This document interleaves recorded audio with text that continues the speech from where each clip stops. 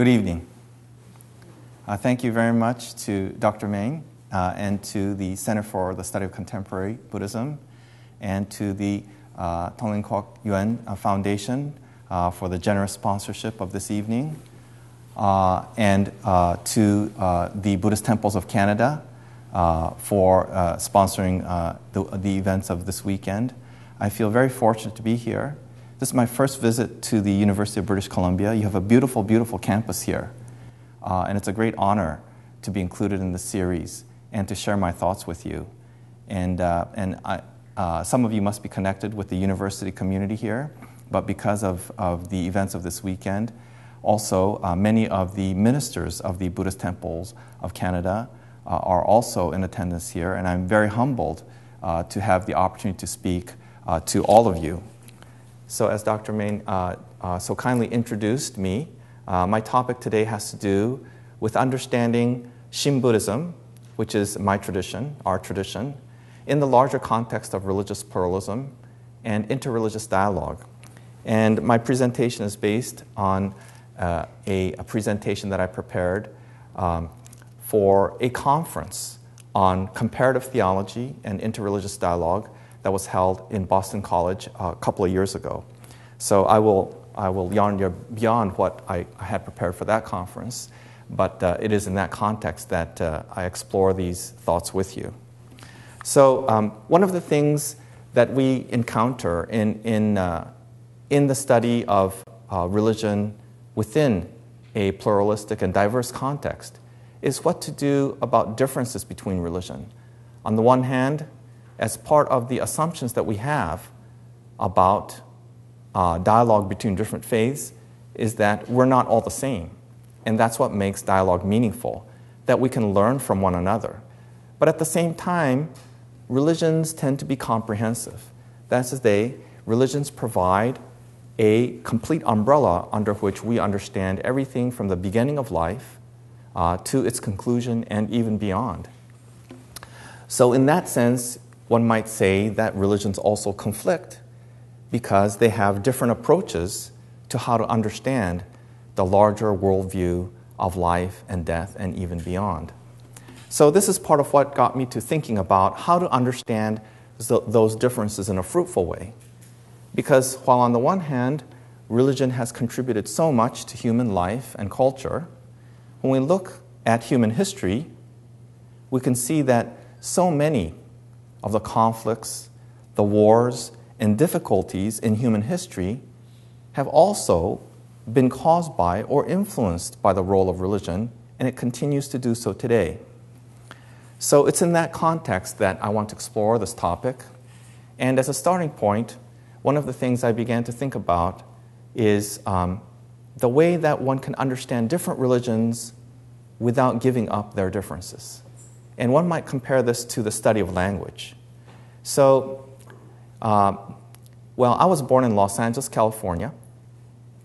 And, um, and when I was two years old, my parents, because of my father's study, uh, as a family, we went to Tokyo, Japan. And uh, we went back and forth several times, so that I've spent a total of 14 years in Japan and the rest of my life in the United States. And because of that experience, I have the experience of learning a foreign language very thoroughly, which is, in my case is Japanese. Once you learn one foreign language, it makes it easier to learn a second foreign language. So I've studied a little bit of Chinese, Mandarin.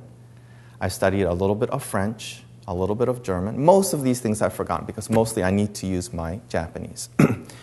but but that, what that tells us is that it's really important to have one's home language. In that sense, in order to understand not just the differences, but the significance of the differences between many languages and perhaps many religions, it's important to thoroughly understand one's own religion and then be able to reach out and learn about other religions as well. So I began by talking about the main features of what we have come to call Shin Buddhism in North America, in Japanese, Jodo Shinshu because some of you are probably new, relatively new to Shin Buddhism. So, Shin Buddhism is a school of Pure Land Buddhism that originates with the work of the Buddhist priest and thinker Gutoku Shinran, who lived from 1173 to 1262. It's one of the largest developments of East Asian Buddhism. As a school within Mahayana Buddhism, it subscribes to what is known as the twofold truth the twofold truth of form and emptiness, alternatively, conventional truth and ultimate truth or highest truth. And in this view, form is understood to, to refer to the world of appearances, to the world of various things and colors and tastes and shapes that we define with language. Uh, the truth of emptiness, or the highest truth, is realized when one sees into and through the illusory nature of the distinctions that we make with language. So, for example, a few years ago, or several years ago, Pluto was demoted from planetary status to mere interplanetary fragment. But recently, scientists have had a change of heart. They say, well, no, it's not just a fragment, it's something in between. But does Pluto care whether Pluto is a planet or not? I don't think so. so, in this way, we can see that, well, it can be very useful, and in fact, for human beings, essential to use language to label and to understand the world of differences through language and ideas and concepts the universe itself doesn't inherently have concepts and differences, at least according to this view. And when we are able, according to Buddhism, when we're able to let go of the pigeonholing function of our mind, then we realize, after having emptied out, that's why we call it emptiness, having emptied out these concepts and ideas, then we have a seamless whole, or a kind of realization of oneness, of oneness. So, in order to explain this, there's, I'm going to use an example from Zen Buddhism. There's a famous Zen saying that in, before enlightenment, a mountain is not a mountain. During enlightenment, uh, before enlightenment, a mountain is a mountain. So, you know, I look out uh, in, in, uh, I live in Eugene, Oregon, so, so looking out towards the east, I see what, what are known as the Three Sisters. And I see the mountains, I say, those are the sisters. During enlightenment, however, I let go. I let go of the idea of mountain. And in that moment, I become one with the mountain. I become one with the mountain. And in that moment, there are no mountains. And yet, I'm most intimate with the mountain. So in that moment, the Zen Buddhists say, a mountain is not a mountain. But you know, just gazing at the mountains, I can't be in that state forever. My wife, I can hear in the faint distance my wife calling out, Time to go home before it gets dark. in that moment, I come out of my trance like state, being one with the mountain, and again, the mountain is a mountain. So I said, Oh, yes, it's such a wonderful time just gazing out at the Three Sisters, but now it's time to go home. And yet, my relationship to the mountain is not the same as before. Because having become one with the mountain, now there's a feeling of closeness and a different experience. And, and so uh, I return to the world of form, but I have not left behind the realization of emptiness. I have not entirely left behind the experience of oneness. And I think we find this kind of experience very often in life. We meet someone for the first time. We exchange greetings, names. Hi, I'm Mark. Somebody says, I'm Joe or I'm Sarah. And at that point, they're just an idea. But I get to know them. It's a work relationship, a friendship, whatever. But as we become closer and closer, then they're no longer just a label. They're somebody who feels, who thinks, uh, who has very distinctive characteristics, physical, emotional, uh, mental. And so then I get to know them more intimately. Then, when I call that person by their name, Joe or Sarah, has a completely different meaning for me because now I've experienced them at a level that one might compare to emptiness or oneness.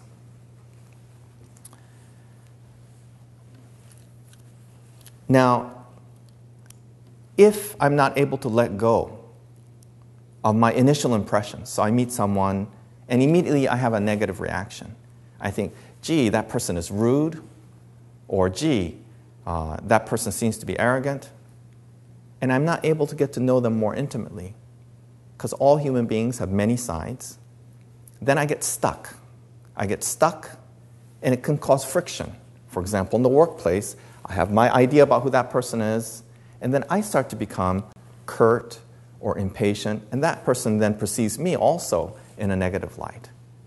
And in Shin Buddhism, we say problems arise not because of form, not because of language, but because we get attached to the labels and preconceptions by which we label other people, other creatures, various situations. And in Shin Buddhism, we call this blind passion, blind passion. There's nothing wrong with passion or desire, but it's only when my mind becomes attached to the labels, the world of appearances, and then I'm blinded from seeing all sides of a person. I'm blinded by seeing reality as a whole that problems arise, I start to suffer, and I might cause suffering for other people. So, without the illumination of oneness, one remains imprisoned alone in the darkness of blind passion. And this person who has blind passions, in Shin Buddhism, we call a foolish being.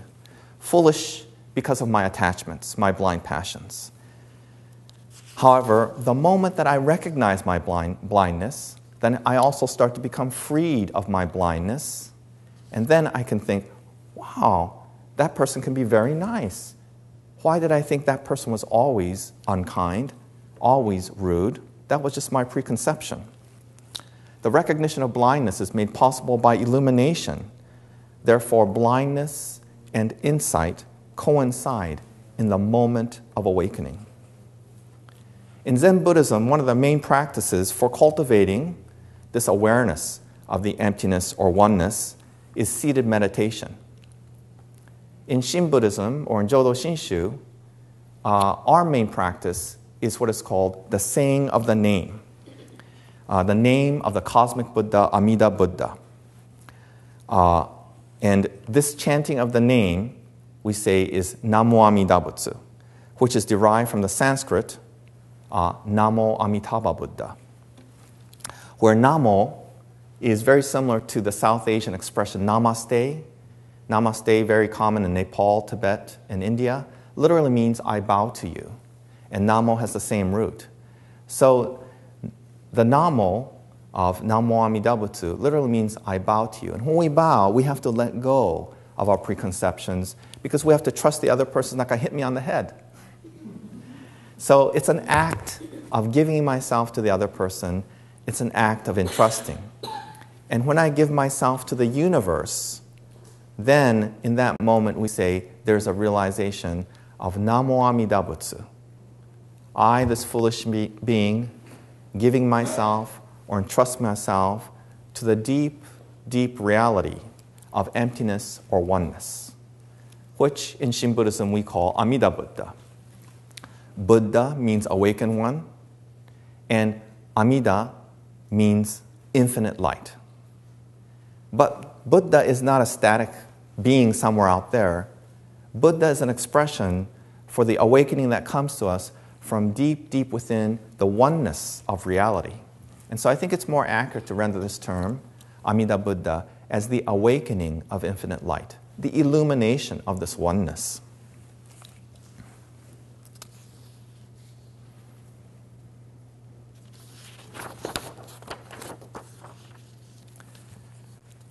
Now, this emptiness or oneness itself is neither light nor dark, neither good nor bad. It's just a oneness beyond words, colorless, odorless, and formless. And in Shin Buddhism, we call this the formless Dharmakaya, that is to say, the body of truth, in its aspect beyond form, that is, the aspect of oneness. But the experience of being freed from the suffering of my attachments comes to me as a kind of illumination. So, you know, if something is on my mind and I'm really, really worried, then I tend to develop kind of a tunnel vision. I bump into things more easily. Uh, I'm not seeing the field of vision so clearly. But maybe I take a walk in the woods, or maybe I have a talk with a friend, and I realize, gee, I was carrying so much unnecessary worry with me, And when that burden is lifted, it's not just that my mind is clear in an intellectual way, but my whole being becomes lighter. How many people have had that experience where something that clouds your mind and weighs you down and makes you even kind of physically feel heavier, taking a walk or talking to a good friend, suddenly you realize you had become stuck in a cul de sac, in a small world of worry, but now the burden is lifted, you feel much lighter. People who have had this kind of experience, yes, I think many of us have had that kind of experience. So it comes to us. So even though this oneness itself is colorless, is odorless, is shapeless, the realization of the oneness out of my confusion, out of my blindness, is experienced as a kind of a palpable illumination. True entrusting. The act of true entrusting to the name is called shinjin, or true entrusting. And while the Shin Buddhist practitioner ever remains a foolish being filled with blind passions in this world, such a person is simultaneously awakened to just how deep my attachments are, and at the same time, how deep the oneness that dissolves that confusion and blindness. And when one looks closely, one sees that the saying or the chanting of the name does not occur from the side of the ego that tries to control reality with words and language, but comes from the depths of one's being, which flows, uh, which flows freely in the flow of the oneness of reality, like Pluto moving in outer space without any worry about whether it is a planet or not. Thus, Shinran, the, te- the founder and, and greatest teacher of our tradition, states true entrusting is none other than the expression of one's own true nature, or Buddha nature, that is, our own awakened nature. And just as the Zen Buddhist meditator, realizes that to truly engage in seated meditation is to completely give oneself over to one's own Buddha nature. In Shin Buddhism, one gives oneself completely over to this oneness, Amida Buddha, which is not a being out there, but is none other than our deepest, truest reality. So there are several ways to kind of explain the process, the unfolding process of realizing I'm stuck in my attachments, I'm stuck in my blindness, and to be brought out of it. And I'm going to use another source, uh, the Taoism of the ancient Chinese master Zhuangzi, to help us illuminate this. The first is what I like to call perspectival awareness. Initially, I think my way or the highway. I know what the truth is, the other person is wrong. But over time, I learned that there are other perspectives.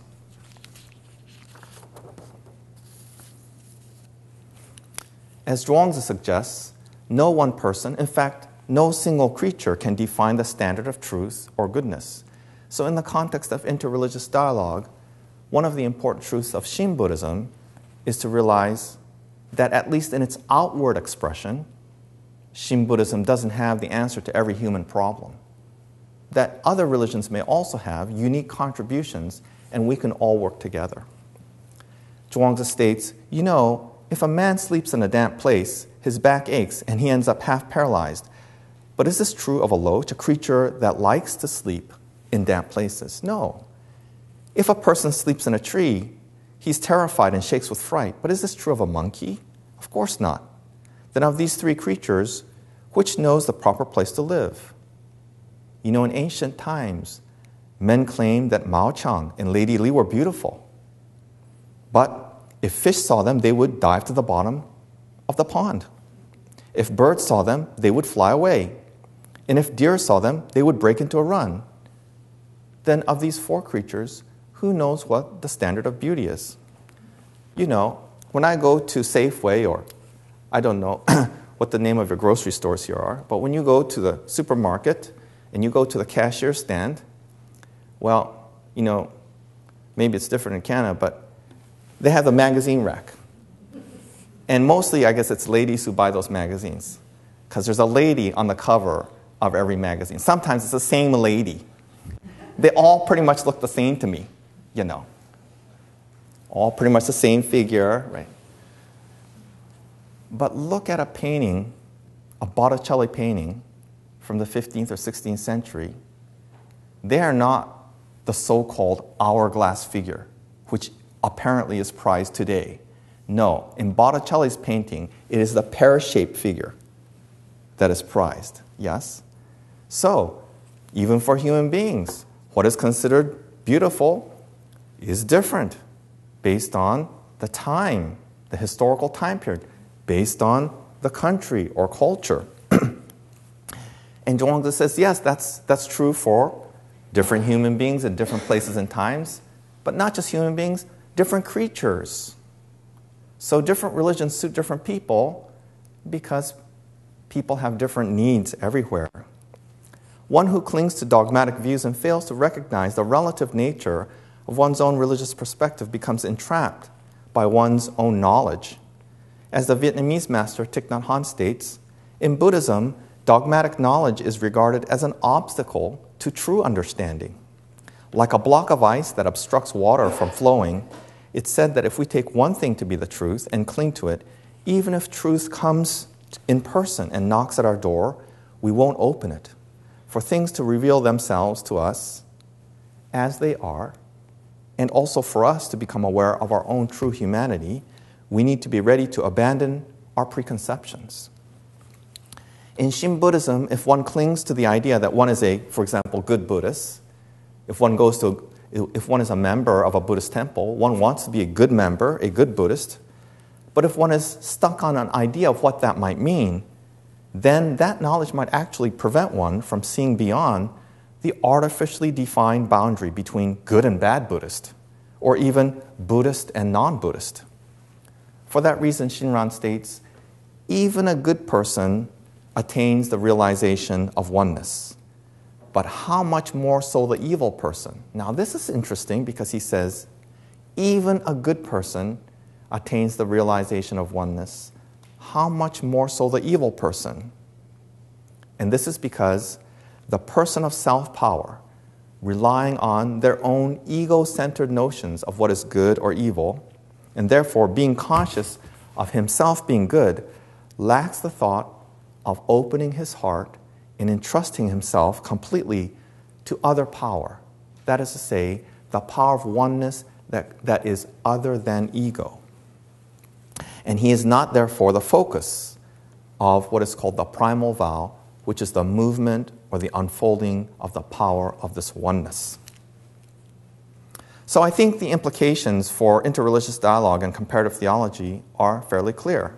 On the one hand, if one is to truly realize emptiness or oneness, or the illumination of what Shinran calls the ocean of light, then all of one's foolish attachments must be illuminated and dissolved into this oneness, this infinite light, including even, or maybe especially, one's attachments to religion, even to Shin Buddhism, at least as something that appears in the world of concepts with shape and form.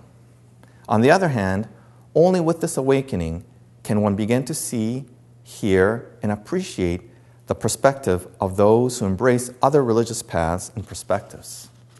And so that's what I want to talk about next.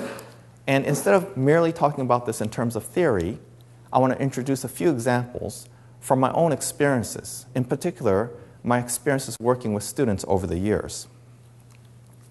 My primary teaching responsibilities consist in offering survey, intermediate, and seminar courses in Asian religions, and especially Japanese Buddhism. And of course, that includes Shin Buddhism. Uh, and I also offer other courses, including courses on comparative religion, one in particular called Dark Self, East and West, in which we explore different views of the self as found in different religions and philosophies.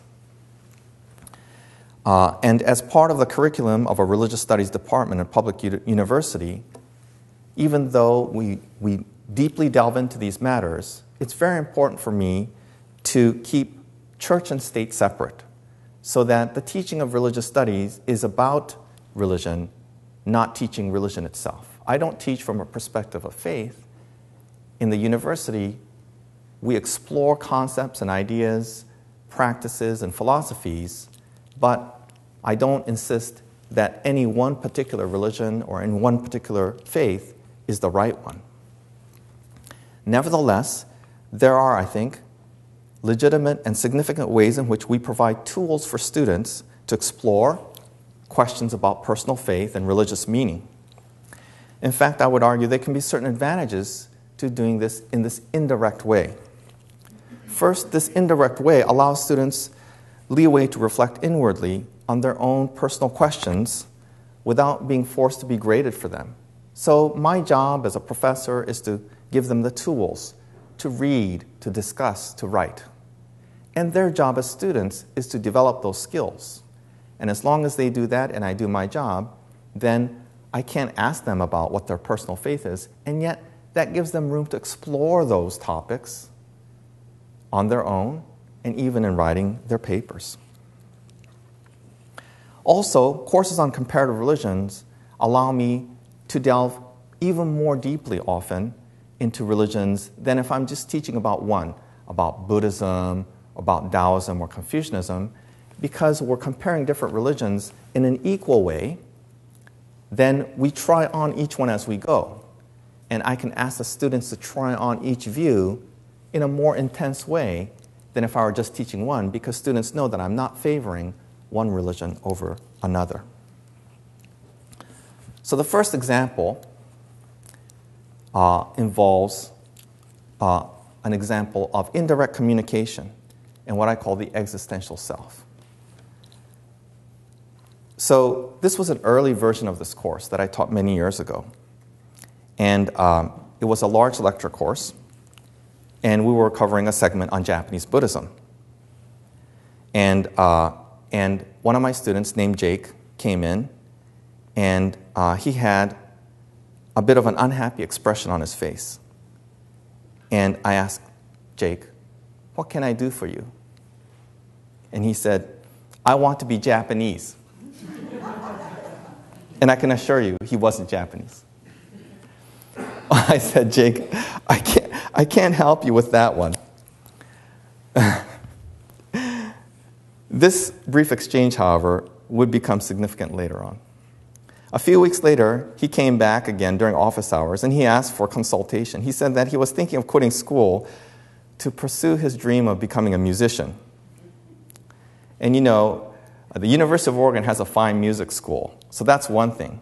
But you have no formal training in music, and a, young, and a very young person comes to you and says, I want to I wanna be a musician. Red flag goes up. His parents were supporting him through school, and they threatened to cut off his funds if he dropped out but he felt that they should support his musical efforts, even if he dropped out of school. He wanted me to affirm his brilliant career move, including looking at some of his songs and evaluating their value. So he took out a crumpled piece of paper out of his pocket where he had some lyrics written, and he asked me to look at them. so I know very little about music, one glance at these jottings made it very clear that he was no musical prodigy. Well, I can't say I don't think that you have what it takes to be a musician because he's coming to me precisely because I'm not his parent. So I, am going to close the door to any possibility for meaningful encounter if I say no, right? So I just said something jovial but neutral, as well as suggesting that perhaps his parents were somewhat within their rights to deny him support should he embark on his musical endeavors. As the weeks went by, however, I kept this conversation in mind in light of his naive and romantic view of what he thought was Japanese and Japanese Buddhism, as well as his musical career. And then we came to one of the readings, which was not on Buddhism, but which was by a Christian thinker named Kierkegaard. Kierkegaard was a Danish theologian. And I felt I had an opening to say something that might be meaningful. I didn't change what I had planned for my regular lecture, but I subtly emphasized certain key points. So we were reading uh, excerpts from one of Kierkegaard's works called Sickness Unto Death, in which he talks about the self. The self as a synthesis. Kierkegaard says the self is a synthesis between the finite and the infinite, between necessity and freedom. So, in order to illustrate what Kierkegaard meant, by the self as synthesis, I gave a few analogies, including the following. When Kierkegaard says that the self is a synthesis of finite and infinite necessity and freedom, it's like saying that one needs to be grounded in reality, but also leave room for the imagination. One should have big dreams. And I didn't say this, but it could be dreams of being a musician. But one also has to live in the finite world, the world of necessity, which is to be financially responsible, which is to be realistic, and so on.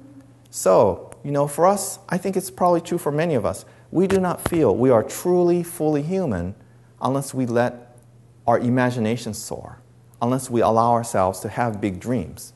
But at the same time, we have to live in this world, which requires bill paying, which requires going to work, which requires meeting deadlines, and so on.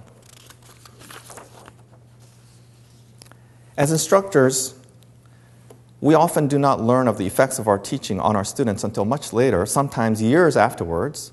In fact, we may, in many instances, never receive feedback even when students have had an impactful experience. But in Jake's case, I did get feedback. A few weeks later, as he came to see me again during office hours, it was totally unexpected given my previous experiences with him. He said, Professor Unno, I've been doing some thinking especially after listening to some of your lectures recently. I think maybe I need to rethink some of my goals. Maybe I can think about my music in the future, but I've decided to focus on my studies in school for now. I'm going to finish my major in chemistry, but I need to ask you something. I'm applying for some PhD programs in chemical research and green technology, and I'm wondering if you can write a recommendation letter for me.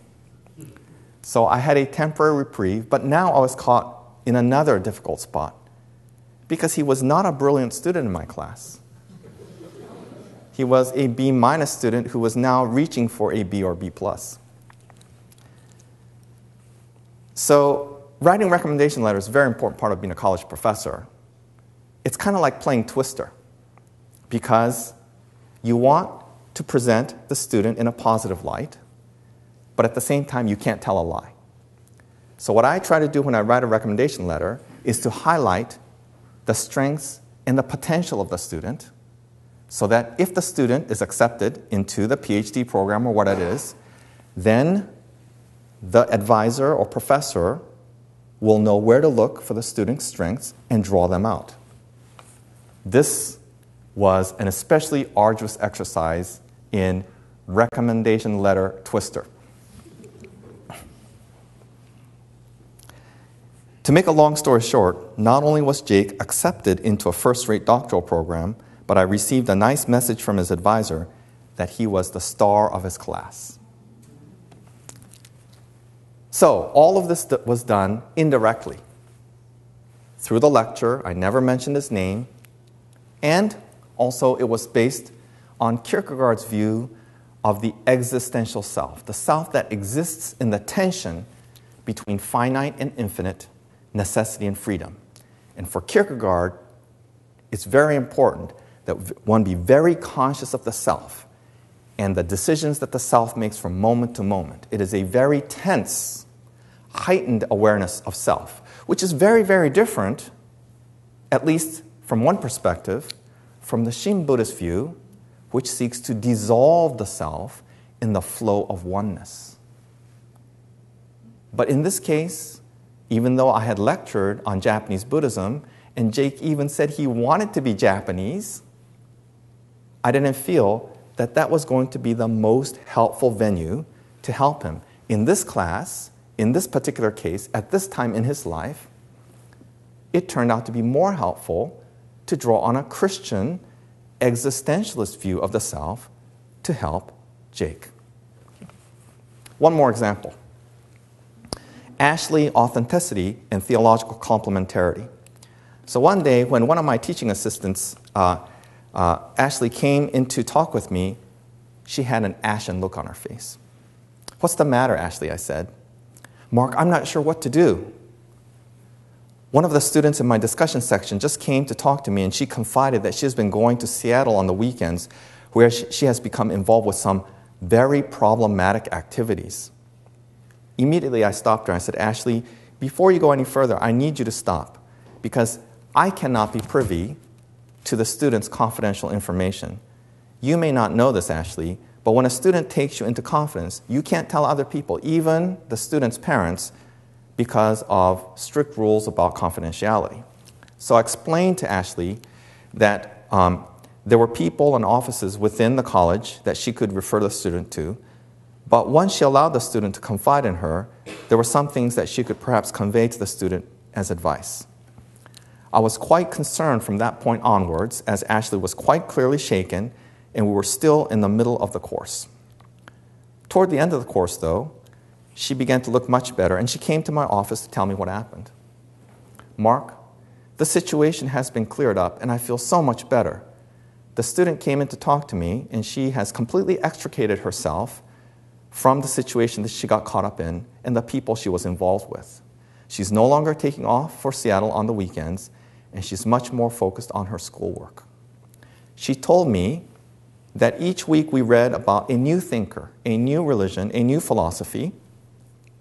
She wanted to see how what she was doing on the weekends might or might not fit in to what we had been reading about. Regardless of the philosophy or religion, though, she couldn't find a model of the self in which she could continue to do what she was doing and call it authentic. So, even though each text, each religion, each philosophy offered a different perspective, of the self and its dark side. There was no view of the self that presented to her by which she could continue her Seattle activities and continue and, and see her present self as authentic. And for that reason, she stopped. So I said, Ashley, I'm so glad everything worked out. They don't always work out, of course, but in this case it did. And as her teacher, you played a crucial role. I myself was also quite relieved and pleased for Ashley and her student. Now, had someone sermonized the student directly or presented a particular religion as the answer, the student might not have engaged in the rigorous, deep reflection of her options and her life. But all the different religions and philosophies, and the freedom to explore all of them, and yet her inability to find what she was doing confirmed in any of them helped her to come to her own conclusion. So, although I did point out points of similarity and resonance between the different religions and philosophies, uh, it was the student herself who embarked on her own search for selfhood and found authenticity as the thread that ran through all the sources she studied. In fact, you know, if I had made an explicit claim about the common ground and the common goal of all religions and philosophies, she might not have accepted it. It's only because she was able to explore on her own and come to her own conclusions that she was able to extricate herself from her situation. So here we see that the emphasis on theological and philosophical variety and differences can constitute a circle of complementarity by which students organically discover their mutual intimacy on the theme of authenticity. One might argue that this is similar to the way that interreligious dialogue might work, not just in the formal setting of a scholarly exchange, but among all people coming from diverse religious backgrounds.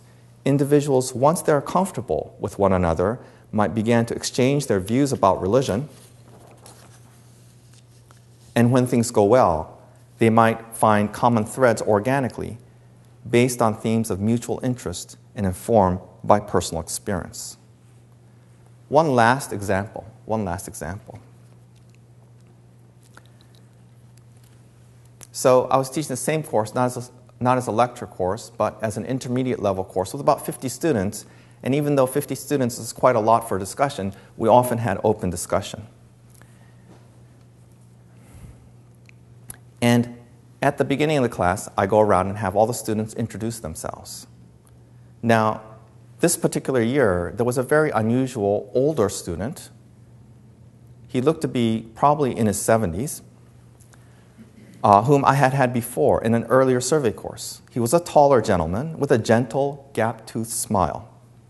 And he had an unusual appearance as he always wore a black robe with a hand stitched insignia, and he had a matching pointed hat. this is very typically Eugene, offbeat. When it came his turn to introduce himself, he handed a paper to the student sitting next to him and had the student read it. And the student read, um, You can call me monk. I have decided to take a vow of silence for three years, so I will not be speaking for the duration of the course. I would, however, like to audit this class and just listen if that's all right. That would be fine, Mr. Monk, I said. And as the weeks went by, the monk was always there, attentively listening to the goings on. And after a while, you know, I began to notice his presence more and more, even though he remained utterly silent. It was the quality of his attention. He smiled at every bad joke that I made. He was attuned to every insight offered by the students. He pondered every complex question. On the last day of class, we all sat in a circle again, and I had the students go around, this time to share their impressions of the class. The monk was there, and when it came his turn, he seemed to be holding something in his hand. And I thought it was a piece of paper he had scribbled something on that he was going to hand to the student sitting next to him.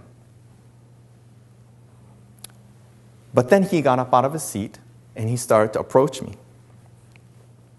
And as, I, as he came closer, I realized that it was not a piece of paper that he was holding, it was a flower. It was a single white camellia blossom.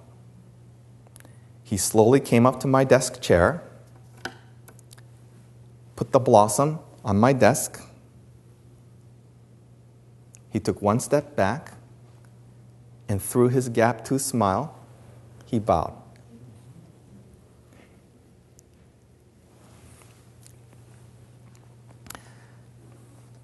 Spontaneously, I was moved and put my palms together, and I bowed in return. I was at a loss for words. Religiously speaking, he was not just from another world, he appeared to be from another planet. and to this day, I have no idea which planet. He was from another era, a completely different cultural background. Yet in that moment, when he laid that flower on my desk and he bowed, I felt that the tips of his fingers pierced my heart through and through and there was nothing left to do but return his bow. According to Shinran, the founder of Shin Buddhism, the path of Pure Land Buddhism of saying the name Namo Amida Butsu only applies to one person, himself. When I ponder the compassionate vow of Amida, that is, the embrace of emptiness and oneness, I realize it was for myself, Shinran, alone. And in this way, the Shin Buddhist generally does not feel that the path applies to anyone but him or herself. In fact, the Shin path of the foolish being and the awakening of infinite light opens the way for the follower of the name to let go of all constructs and to seek the point of encounter with what was until then defined as different, as other. But as the Taoist master Zhuangzi states, if one delves deeply enough into that point of mutual contact, between self and other, between other people and oneself, other creatures and oneself, then one begins to realize that what were previously seen as polar opposites can, in fact, interpenetrate each other and may ultimately be one beyond words. He states, There's nothing bigger than the tip of a strand of hair in autumn. The great mythic Mount Tai is actually tiny no one has lived longer than a stillborn child. And the great mythic pung bird actually died young. And heaven and earth were born at the same time I was. It's significant here that the passage ends with Zhuangzi stating, Heaven and earth were born at the same time I was, and the myriad creatures are one with me. The myriad creatures are one with me. These last two words, with me, indicate that for the author of the Zhuangzi, the oneness, is not a metaphysical speculation, but only takes on meaning as a lived realization. And it echoes Shinran's sentiment when he states, I realize it was for myself, Shinran, alone. We often hear about the celebration of religious diversity, the need for dialogue, and the significance of undertaking the comparative study of religion. But it's often difficult to carry them out in practice. Nevertheless, each time I encounter someone of a different background, precisely because of what I have been taught about foolish being, blind attachments, oneness, in the illumination of infinite light, I feel that I am being led into the secret treasure trove of someone's heart, of the divine spark, the mysterious Tao of existential meaning, the ocean of light. So I conclude by saying this is yet another beginning, another opening into that unknown world where religious difference is precisely the window to renewed self understanding a world of complementarity through which I'm led to discover more of the world and, just as importantly, more of myself.